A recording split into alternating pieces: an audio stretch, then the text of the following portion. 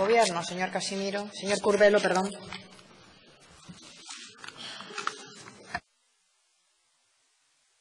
Muchas gracias, presidenta. Señor presidente del Gobierno, señorías, yo creo que las discrepancias se producen siempre.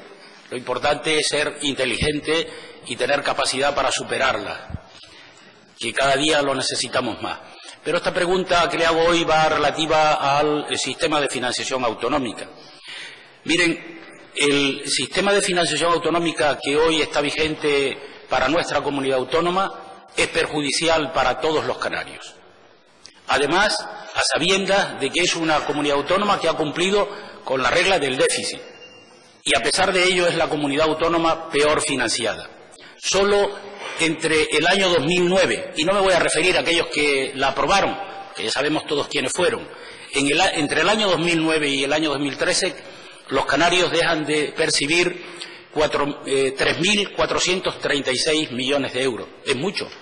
Eso ha repercutido en el empleo del que usted habló antes y que le interpeló la señora portavoz del Grupo Socialista, o en la sanidad, o en la educación, o los servicios sociales canarios, es mucho. Sobre todo se notaría más en las islas eh, periféricas, en las islas menores.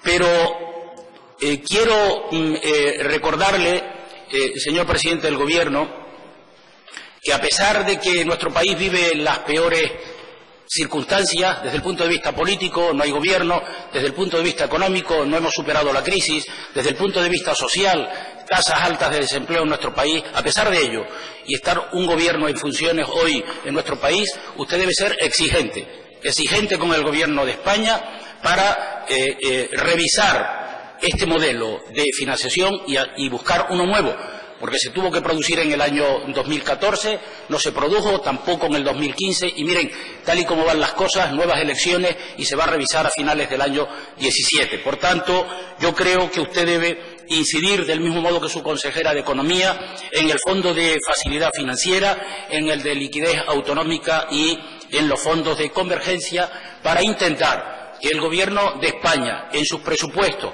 o en medidas adicionales, sea capaz de compensar a la comunidad autónoma canaria. En el Fondo de Liquidez Autonómica, que nos compensen esos 219 millones de euros para reducirlos de la deuda que tiene Canarias, de 1.027 millones, y así sucesivamente. Creo que están haciendo la tarea. El viernes se va a producir un Consejo de Política Fiscal. Señor Curbelo, muchas gracias. Acabó su tiempo. Señor presidente. Muchas gracias, Presidenta. Muchas gracias, señor Casimiro.